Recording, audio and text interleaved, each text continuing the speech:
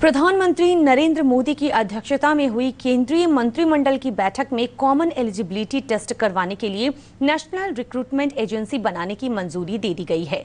केंद्र के इस फैसले से नौकरी तलाश रहे युवाओं को फ़ायदा होगा।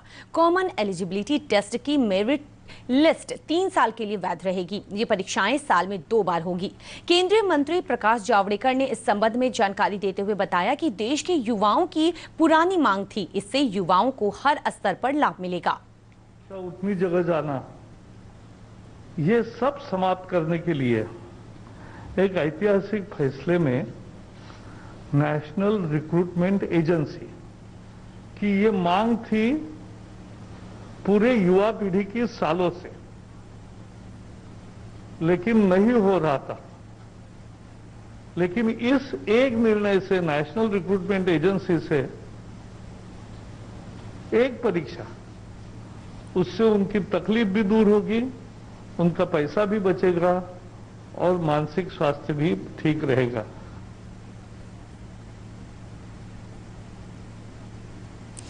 केंद्र सरकार के इस फैसले पर छात्रों की सकारात्मक प्रतिक्रिया सामने आई है। युवाओं ने केंद्र के इस फैसले का स्वागत करते हुए कहा कि इससे प्रतियोगिता, परीक्षाओं और नौकरी के लिए राहें आसान होगी।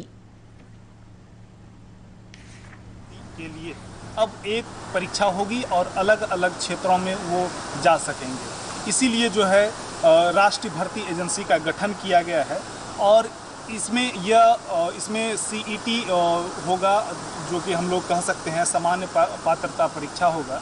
आने वाले समय में युवाओं को इसका लाभ भी मिलेगा। 2021 से यह चालू होने वाला है। श्री नरेंद्र मोदी जी का ये जो फैसला है, ये स्वागत योग्य है। और मुझे लगता है कि ये एक अच्छा पहल है। इनके द्वारा एक अच्छा फैसला किया गया है।